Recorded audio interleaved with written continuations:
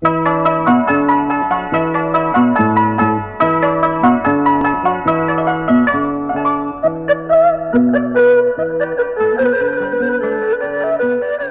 家好，欢迎收看大话成语，我是洪子叶。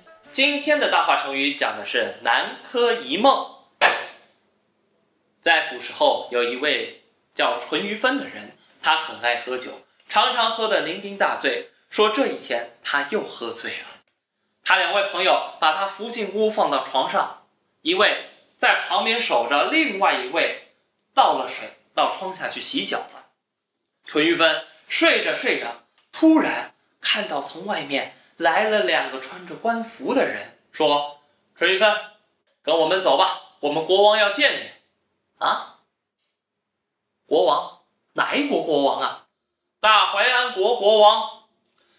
淳于芬跟这两个人走出了门，没想到就走进了门外的槐树洞里边。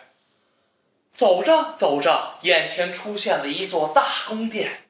走进宫殿，往上一看，上面端坐着一位国王。国王说：“淳于芬，我听说你这人挺不错的，我觉得要把二女儿许配给你，不知道你愿不愿意？”嗯。淳于芬想，嘿嘿嘿嘿，洞房花烛是人生四大喜事之一哎，而且还是跟公主，当然愿意了。于是他就娶了公主。过了三年，公主给他生了两个儿子。可是淳于芬开始觉得无聊了，没事做呀。于是他把这件事告诉了公主，公主告诉了国王，国王便任命他去南柯郡当太守。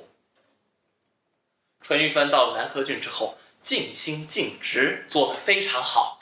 国王还常常降职表扬他。就这样过了三十年，公主帮他生了五男二女，孩子一天一天的长大了。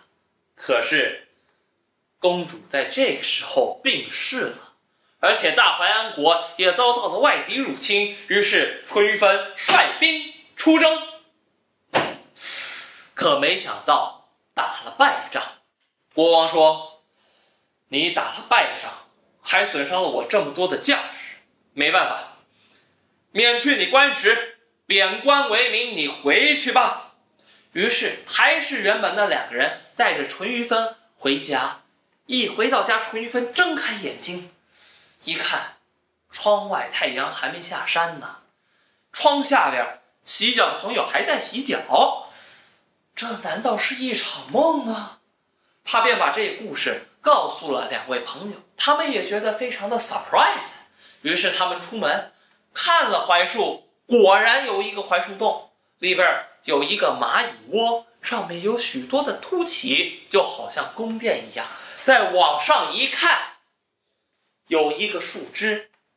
淳于分享，哎，科不就是树枝吗？原来我在这个树枝上当了三十年的太守啊！